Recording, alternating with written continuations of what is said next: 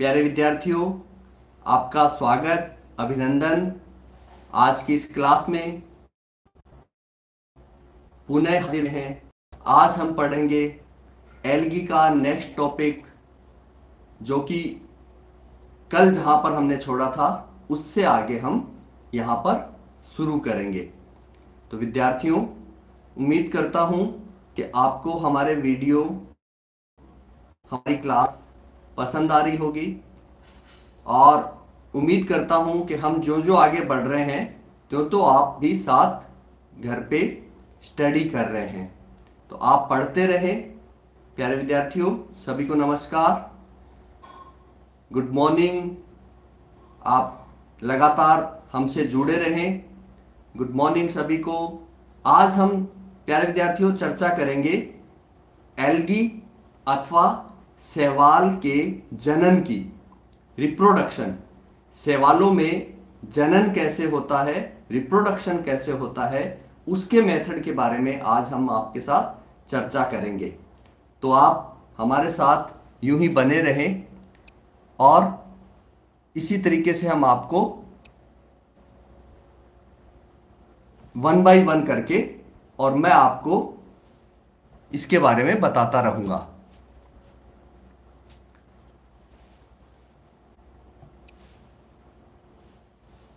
आपको स्क्रीन नज़र आ रहा होगा। आप वीडियो को लाइक करें और कमेंट बॉक्स में कमेंट करें कि आपको स्क्रीन नज़र आ रहा है। सभी को।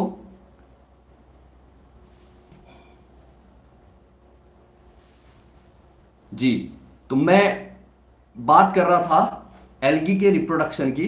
तो रिप्रोडक्शन की हम बात करें तो रिप्रोडक्शन जो है, वो सवालों में तीन प्रकार से होता है। तीन प्रकार से रिप्रोडक्शन होता है। पहला वेजिटेटिव दूसरा एसेक्सुअल और तीसरा सेक्सुअल यानी वेजिटेटिव हिंदी में हम इसको कहेंगे काइक जनन एसेक्सुअल अलैंगिक जनन और सेक्सुअल लैंगिक जनन। तीनों मेथड से हमारे सवालों में रिप्रोडक्शन होता है। वेजिटेटिव एसेक्सुअल और सेक्सुअल अब वन बाय वन हम इसकी मेथड की स्टडी करेंगे कि किस प्रकार हमारा जो एल्गी है, वो रिप्रोडक्शन करता है। एल्गी में रिप्रोडक्शन किस प्रकार होता है? तो सबसे पहले अगर हम बात करें, मैंने जैसा बताया वेजिटेटिव काइक जनन एसेक्सुअल अलैंगिक जनन और सेक्सुअल लैंगिक जनन। अब बेसिकली इसमें डिफरेंस क्या होता है? वेजिटेटिव रिप्रोडक्शन जो होता है, काइक जनन, उसमें कोई संरचना नहीं बनती है विशेष संरचना। किसी भी फॉर्म में प्लांट या प्लांट का कोई पार्ट उससे अलग होता है और नया प्लांट बना देता है, नया प्लांट बना देता है। ए सेक्सुअल में ए सेक्सुअल गैमेट्स वो बनते हैं स्पोर्ट्स बनते हैं और वो स्पोर्ट्स बनने के बाद नया प्लांट बनाते हैं। और सेक्सुअल में, लैंगिक में दो नर और मादा भाग लेते हैं और लैंगिक जनन होता है। अब हम सबसे पहले यहाँ पे एक चार्ट आपको नज़र आ रहा होगा कि रिप्रोडक्शन जो है वो एलगी में किस किस मेथड से होता है। एलगी में तो आप देख सकते हैं यहाँ पे वेजिटेटिव रिप्रोडक्शन हो रहा है। वेजिटेटिव यानी काइक जनन किन किन मेथड से होता है मैं बार पूरा डिटेल में आपके साथ करूँगा। फ्रेगमेंटेशन यानी टुकड़ों में टूट जाना फिशन कोशिका का दो भागों में टूट जाना एकाइनिट्स एक संरचना बनती है, उसमें एकाइनिट्स उनको बोलते हैं, ट्यूबर्स कारा में बनते हैं, विशेष संरचना होर्मोगोनिया जो है, वो ओसिलेटोरिया में बनते हैं, और एडवेंटिशियस थैलाई वो भी बनते हैं। उसी प्रकार अगर हम ए सेक्सुअल अलैंगिक जनन की बात करें ए सेक्सुअल या अलैंगिक जनन की बात करें तो ए सेक्सुअल में आप यहाँ पे देख सकते हैं, चल बीजाणु जूस्पोर से होता है सिंजूस्पोर से होता है वोचेरिया में होता है एप्लेनोस्पोर से होता है हिप्नोस्पोर से होता है ओटोस्पोर और टेट्रास्पोर ये कुछ अलैंगिक जनन के प्रकार होते हैं। इसी प्रकार, अगर हम बात करें सेक्सुअल रिप्रोडक्शन की तो सेक्सुअल रिप्रोडक्शन जो लैंगिक जनन है, वो तीन मेथड से होता है। आइसोगेमी एनाइसोगेमी और ऊगेमी अगर आपको किसी प्रकार की कोई समस्या हो तो आप मैसेज में मैसेज डालते रहिएगा ताकि मुझे वो दिखता रहेगा और मैं आपके साथ से वो चीज़ शेयर करता रहूँगा। अब सबसे पहले हम देखते हैं यहाँ पर वेजिटेटिव या काइक जनन। वेजिटेटिव या काइक जनन। तो उसमें आप यहाँ पर देखिए। अब मेरे ख्याल में क्लियर होगी आपको स्क्रीन। जो वेजिटेटिव और काइक जनन है, वो सबसे पहले फिशन फिशन इसमें होता है, आप यहाँ पे देख सकते हैं कि एक कोशिका से दो कोशिकाएँ बन जाती है बिना किसी विशेष संरचना के। तो इसे हम फिशन या द्विखंडन कहते हैं। द्विखंडन एक कोशिका से दो कोशिकाएँ बन जाती है। एक कोशिका से दो कोशिकाएँ बन जाती है। तो इसे फिशन कहा जाता है। उसके बाद अगर हम देखें तो फ्रेगमेंटेशन फ्रेगमेंटेशन में क्या होता है कि जो फिलामेंट है, वो किसी भी बाह्य कारण, कारकों के कारण, जैसे एनिमल ग्रेजिंग करते हैं फ़िश जो है मछलियाँ फीडिंग करती है, उसके कारण उसके फिलामेंट टूट जाते हैं। फिलामेंट टूट जाते हैं और प्रत्येक फिलामेंट नया प्लांट बना लेता है। प्रत्येक फिलामेंट नया प्लांट बना लेता है। इसे कहते हैं हम खंडन। टूटना, खंडित हो जाना और प्रत्येक खंड नया प्लांट बना लेता है। तो इसे हम खंडन कहते हैं। इसे हम खंडन कहते हैं। ट्यूबर्स ट्यूबर्स में क्या होता है कि कारा में बनते हैं ये। इसमें एक आउटग्रोथ बनती है, गोलाकार आउटग्रोथ बनती है। गोलाकार आउटग्रोथ बनती है जो कि स्टार्च रिच होती है। और स्टार्च रिच ये संरचना बाद में प्लांट बॉडी से अलग होकर नया प्लांट बना लेती है। इसे हम ट्यूबर कहते हैं, जो कि कारा में बनती है। कारा में बनती है। तो कारा में बनती है। बल्बिल्स, ये भी कारा में बनते हैं। ये भी गोलाकार छोटी छोटी संरचनाएँ होती है। गोलाकार छोटी छोटी संरचनाएँ होती है। इसे बल्बिल्स कहा जाता है और ये बल्बिल्स भी प्लांट बॉडी से अलग होकर नया प्लांट बना लेती है। ये भी कारा में, जो कारा हमारी एलगी है, उसमें इसको रिपोर्ट किया गया है बल्बिल। तो ये वेजिटेटिव रिप्रोडक्शन या काइट जनन के कुछ प्रकार है। उसके बाद होर्मोगोनिया, ये बहुत इंपॉर्टेंट है। आपके कई बार एग्ज़ाम में इसका प्रश्न आता है। कई बार एग्ज़ाम में इसका प्रश्न आता है कि होर्मोगोनिया क्या होते हैं। होर्मोगोनिया और खंडन, जो मैंने फ्रेगमेंटेशन बताया था, उसमें बस इतना ही डिफरेंस है कि फ्रेगमेंटेशन या खंडन तो बाह्य कारक के कारण होता है और होर्मोगोनिया आंतरिक कारकों के कारण होता है। इसमें क्या होता है? जो फिलामेंट होता है, उसके बीच की कुछ कोशिकाएँ नष्ट हो जाती है और नष्ट होने के बाद वो फिलामेंट जहाँ से नष्ट होती है, वहाँ से टूट जाता है। इसका बेस्ट एग्जांपल ओसिलेटोरिया में हम देखते हैं। यहाँ पे आप देख सकते हैं इस डायग्राम में कि बीच की कोशिकाएँ नष्ट होने के कारण नेक्रीडियम बनता है। इसको बोलते हैं नेक्रीडियम नेक्रीडियम बनता है और ये नेक्रीडियम जो है, वह वहाँ से फिलामेंट टूट जाता है और अब इस टूटे हुए पार्ट को होर्मोगोनिया कहा जाता है। इस टूटे हुए पार्ट को होर्मोगोनिया कहा जाता है। तो ये होर्मोगोनिया ओसिलेटोरिया में बनते हैं। आंतरिक कुछ कोशिकाएँ नष्ट हो जाती है, जिस पार्ट को नेक्रीडियम कहा जाता है, और यहाँ से फिलामेंट टूट जाता है और टूटा हुआ पार्ट होर्मोगोनिया कहलाता है, और ये होर्मोगोनिया बाद में डिवीज़न करके और नया प्लांट बना देता है। तो ये हमारा हो गया होर्मोगोनिया। बहुत इंपॉर्टेंट है, कई बार क्वेश्चन आता है व्हाट इज़ होर्मोगोनिया? और या होर्मोगोनिया से रिप्रोडक्शन को समझाइए। ये बहुत बार आता है। प्रोटोनिमा भी कारा में बनता है। ये फिलामेंटस तंतुल संरचना होती है जो कारा में पाई जाती है। जाइगोट जब इसमें बनता है सेक्सुअल रिप्रोडक्शन के बाद जाइगोट बनता है तो ये प्रोटोनिमा एक विशेष स्ट्रक्चर बनती है, जिसे प्राइमरी प्रोटोनिमा कहते हैं।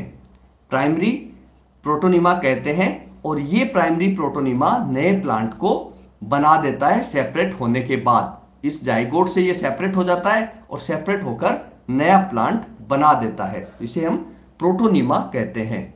इसे हम प्रोटोनिमा कहते हैं। ये प्रोटोनिमा हो गया।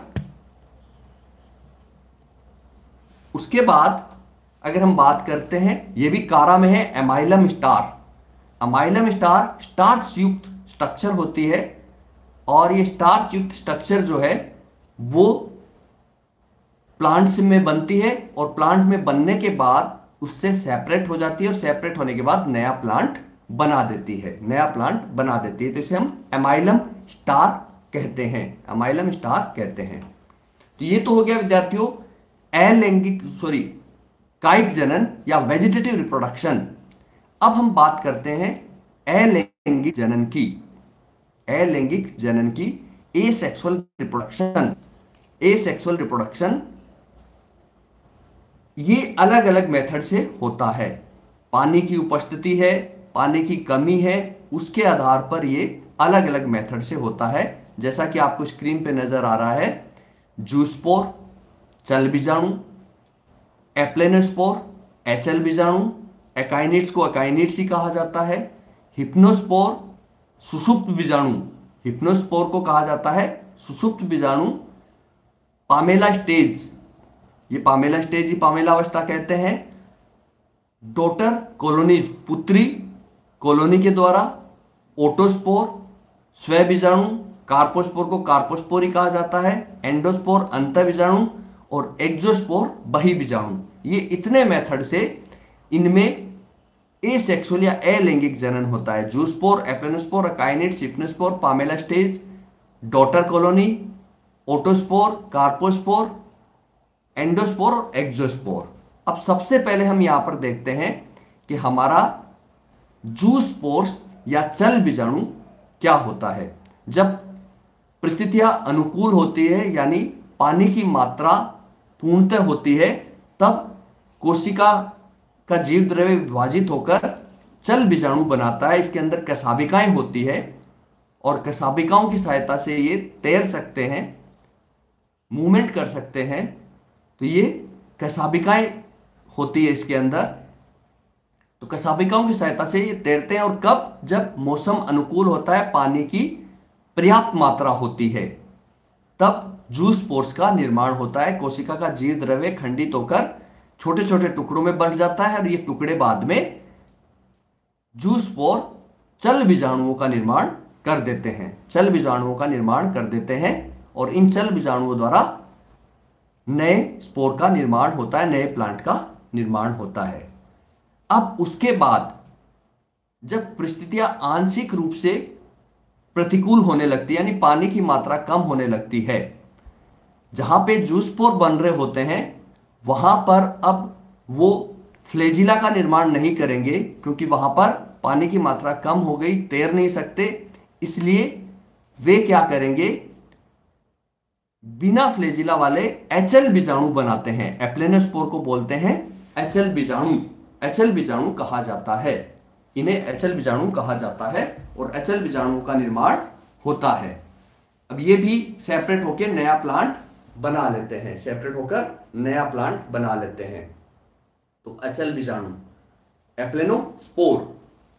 उसके बाद एकाइनिट्स एकाइनिट्स जो फिलामेंटस हमारी एल्गी है जैसे नोस्टॉक, ओसिलेटोरिया, इनमें बनता है उडोगोनियम में भी बनता है। इसमें क्या होता है? एक कोशिकाएँ, कोई एक सिंगल कोशिका, वो अपने चारों ओर मोटी भित्ति का आवरण बना लेती है। मोटी भित्ति का आवरण बना लेती है और उस मोटी भित्ति वाली कोशिका प्रतिकूल परिस्थितियों में जब पानी समाप्त हो जाता है तो ये प्रतिकूल परिस्थितियों को सहन करती है और जैसे ही पानी मिलता है, ये अकाइनेट्स वहाँ पर नया प्लांट बना लेते हैं। नया प्लांट बना लेते हैं। तो ये नोस्टोकेल्स टाइगो निमेटेल्स इस ग्रुप में ये बनते हैं। अकाइनिट्स अकाइनिट्स के द्वारा। हिप्नोस्पोर ये जब कोशिका है, पूरी कोशिका ही अपने चारों ओर मोटी भित्ति का श्रावण कर लेती है। सुसुप्त बीजाणु कहा जाता है। सुसुप्त बीजाणु और ये नील हरित सेवालों में, ग्रीन एल्गी जो है, उसमें बनता है हरित सेवालों में। और ये मोटी भित्ति का आवरण उसके चारों ओर श्रावित हो जाता है। ये प्रतिकूल परिस्थितियों को कई सालों तक सहन कर सकते हैं। अगर एक दो साल भी बरसात नहीं होती है तो प्रतिकूल परिस्थितियों को ये सहन कर सकते हैं और इनके चारों ओर मोटी भित्ति होती है। जब भी परिस्थितियाँ अनुकूल फेवरेबल होती है, पानी बरसता है तो ये अंकुरित होकर जर्मिनेट होकर नया प्लांट बना लेते हैं। पामेला अवस्था, कल हमने पढ़ा था इसके बारे में, पामेला कॉलोनी इसमें क्या है? कोशिकाएँ विभाजन करती है, पामेला एल्गी है। और विभाजन करने के बाद कोशिकाएँ श्लेष्म म्यूसिलेज के आवरण में पड़ी रहती है। म्यूसिलेज के आवरण में पड़ी रहती है और वो सेपरेट नहीं होती और हमें ऐसे लगता है जैसे ये पामेला एल्गी है। इसलिए इसको पामेला स्टेज कहा जाता है।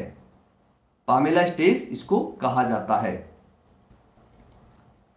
डोटर कॉलोनी, ये आपके बहुत इंपॉर्टेंट रहता है।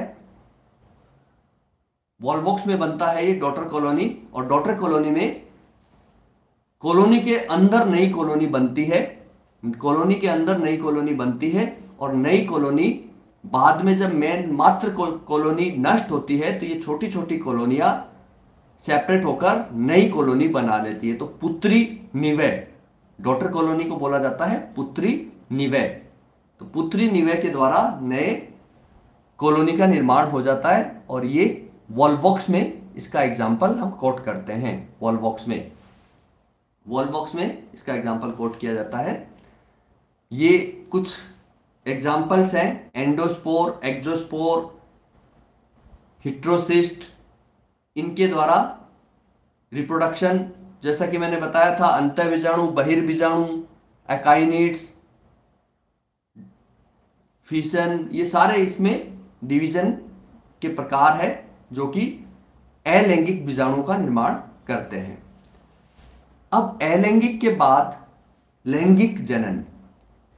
लैंगिक जनन में क्या होता है, आपको पता है सेक्सुअल रिप्रोडक्शन में दो गैमेट्स एक नर के द्वारा बनता है और एक मादा के द्वारा बनता है।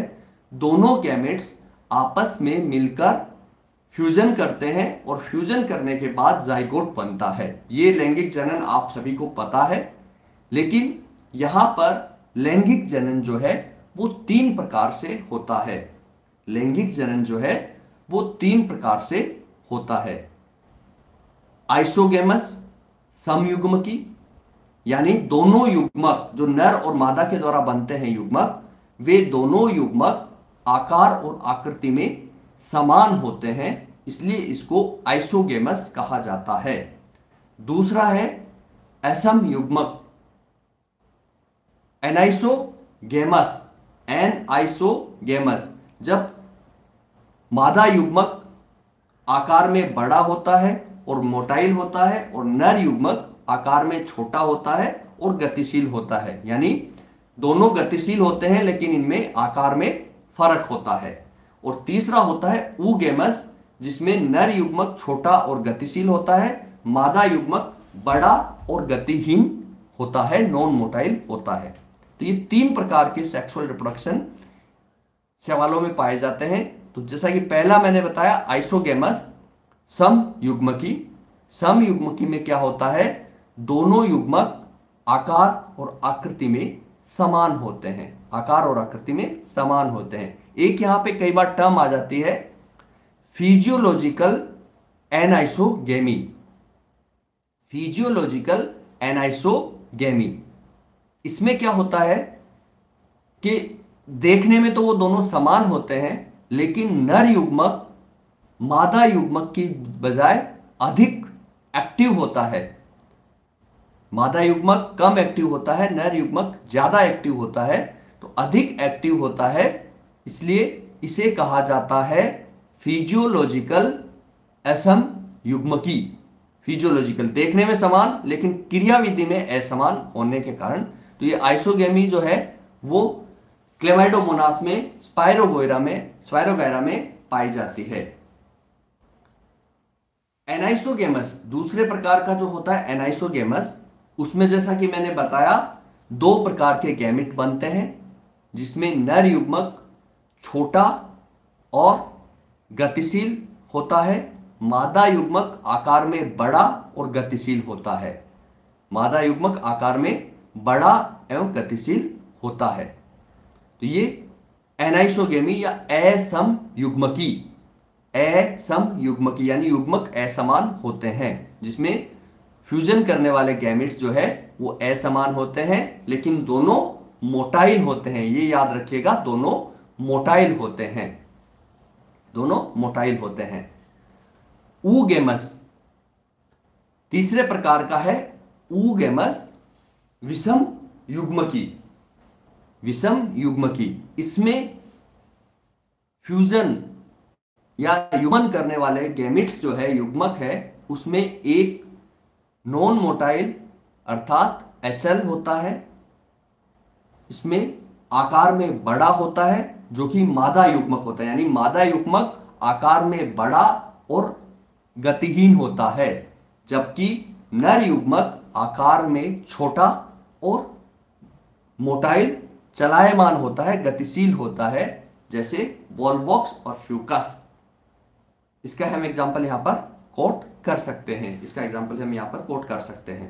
तो ये हो गया हमारा सेक्सुअल रिप्रोडक्शन में आइसोगेमस एनाइसोगेमस और ऊगेमस समयुग्म की असमयुग्म की और विषम युग्म की अब हम एग्जांपल देखें समयुग्म की जो मैंने कहा, आप देख सकते हैं यहाँ पर, दो युग्मक बने, दोनों समान है, आकार आकृति में समान है, दोनों में फ्यूजन हुआ और फ्यूजन होने के बाद जाइगोट बना।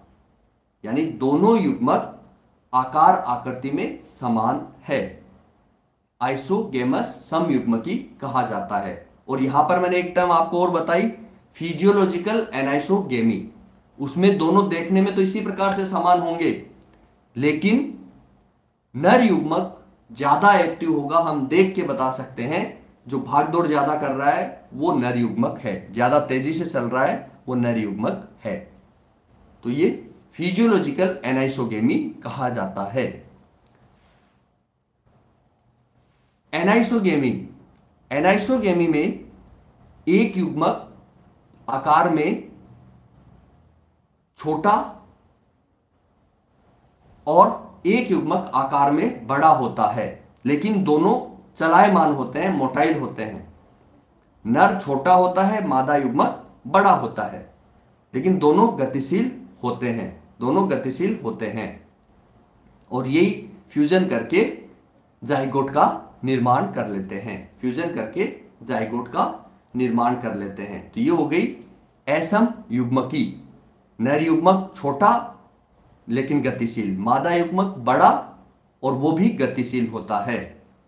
ये एनाइसोगेमी कहा जाता है इसको। एनाइसोगेमी कहते हैं। तीसरे प्रकार का हमारा है ऊगेमस। ऊगेमस। उसमें नर युग्मक छोटा और गतिशील होता है, जिसे माइक्रोगेमिट कहते हैं हम, और मादा युग्मक बड़ा और गतिहीन होता है, जिसे हम एक भी कहते हैं, एक भी कहते हैं, और ये दोनों फ्यूजन करते हैं और जायगोट का निर्माण करते हैं जाइगोट का निर्माण करते हैं। तो ये हमारा विषम युग्म की तो आज हमने रिप्रोडक्शन में देखा, जनन में देखा कि सवाल जो है, वो तीन प्रकार से, तीनों मेथड से जनन करते हैं, काइक जनन, अलैंगिक जनन और लैंगिक जनन। अर्थात वेजिटेटिव रिप्रोडक्शन एसेक्सुअल रिप्रोडक्शन और sexual reproduction three types of reproduction are found in all groups of algae in vegetative reproduction कोई भी एक्स्ट्रा स्ट्रक्चर नहीं बनती है प्लांट का दो भागों में टूट जाना या किसी उसके पार्ट का अलग होना और वो प्लांट फिर वो पार्ट नया प्लांट बना देता है। ये काइक जनन कहलाता है।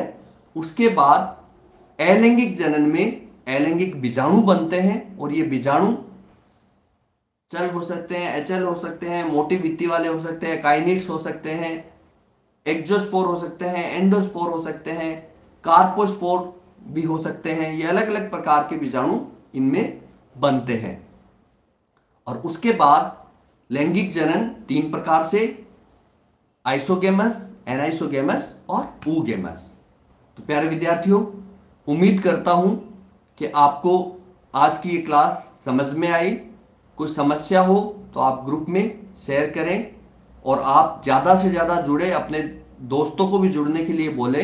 फैजल फैजल ने किया है, सुभाष, आपका भी धन्यवाद। आप अपने दोस्तों को जोड़े। ज़्यादा से ज़्यादा अटेंडेंस होगी तो ही अच्छा रहेगा और उतना ही हमें आप सबको फ़ायदा होगा। मैं आपके साथ निकिता, ज्योति, सुभाष रामस्वरूप आप सभी का धन्यवाद। आप लोग क्लास में आएँगे। लॉकडाउन है, पढ़ाई का नुकसान हो रहा है, आपको ही फ़ायदा है। मोना चोपड़ा सिस्टर्स अपने ज़्यादा से ज़्यादा फ्रेंड्स को जोड़िए। चिंटू, आदित्य, निकिता, मोना, आप सभी का बहुत बहुत धन्यवाद कि आप जुड़ रहे हैं। के आपने लिखा है, आज क्लियर दिख रहा था। थैंक यू मेरा प्रयास यही रहता है कि मैं और बेहतर करूँ, आपका कुछ ना कुछ फ़ायदा रहे। आज की क्लास बेस्ट है। थैंक यू फैसल मैं यही प्रयास करता हूँ कि आपको ज़्यादा से ज़्यादा फ़ायदा हो, लेकिन जो अटेंडेंस है वो कम है। हमारे ग्रुप में लगभग डेढ़ सौ से ज़्यादा विद्यार्थी जुड़े हुए हैं, लेकिन उपस्थिति आपकी तीस के आसपास ही रहती है तो आप अपने दोस्तों को मोटिवेट करें। आप अपने दोस्तों को मोटिवेट करें ज़्यादा से ज़्यादा। और ज़्यादा से ज़्यादा लोग जुड़ेंगे तो हमें ही फ़ायदा होगा। आपका मंडे को टेस्ट होगा। मंडे को हम टेस्ट लेंगे जो अभी तक पढ़ाया है। और दीक्षित सिहाग, आपका थैंक, धन्यवाद, आपने क्लास ली। और भी बहुत से विद्यार्थी इसमें जुड़े हुए हैं। आप सभी का आप इस वीडियो को लाइक ज़रूर कर दें। और फिर हम साथ आएँगे। अपने दोस्तों को ज़रूर मोटिवेट करना। इट्स अभी। थैंक्स आपका। बहुत बहुत धन्यवाद आपका, सबका, कि आप जुड़े हुए हैं। इसको तैयार करने में टाइम लगता है, इसलिए आप ज़्यादा से ज़्यादा पढ़ें, फ़ायदा आपका ही होगा। तो बहुत बहुत धन्यवाद आप सभी का।